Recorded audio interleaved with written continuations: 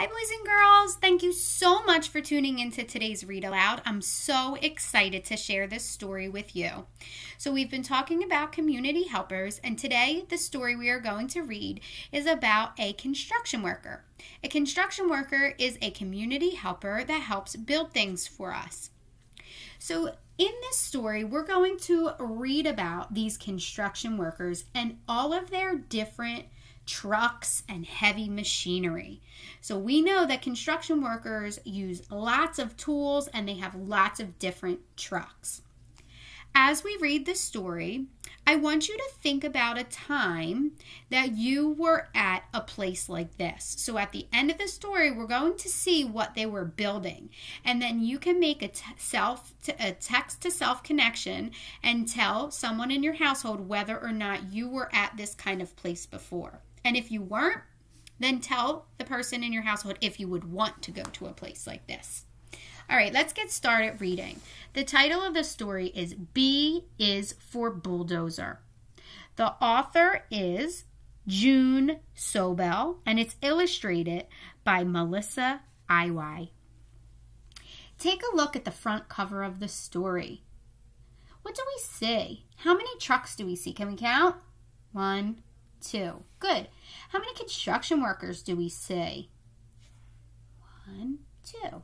Where does it look like they're sitting? Hmm. I wonder where. I'm going to have to read to find out.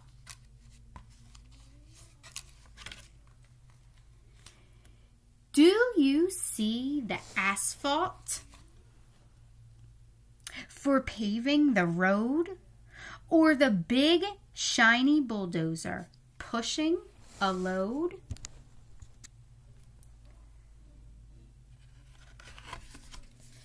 I see a crane way up high in the sky and a rusty red dump truck rumbling by. Wow, look at that crane. Cranes lift up really big materials, really heavy. Here comes an excavator to dig a huge hole. Huge means very big. Nearby, there's a forklift holding a pole. So they're moving the pole. Let's look for the grader on the roadbed and a man with a hard hat protecting his head.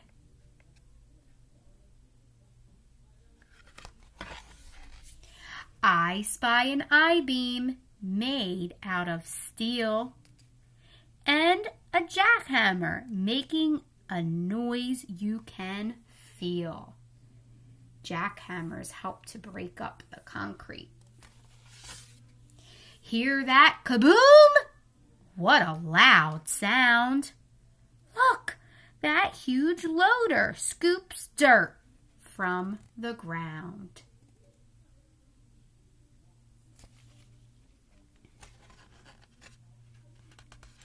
Watch people swing mallets at a swift pace, pounding in nails to hold parts in their place. Can you make a prediction and try to guess what they're building? Hmm, look at the illustrations. Look at the pictures. What do you think?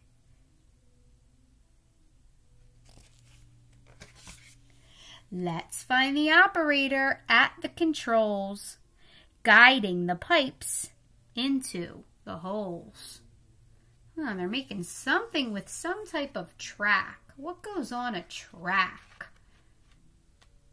Train, roller coaster. The welders won't quit till the metal is bent and the new safety rails are placed in cement. See an elephant face. See the scaffolds come down before our eyes while the workers pack up their tools and supplies. Oh, looks like they're finishing up their project. I see what looks like a carousel. The underpass barrier is taken away.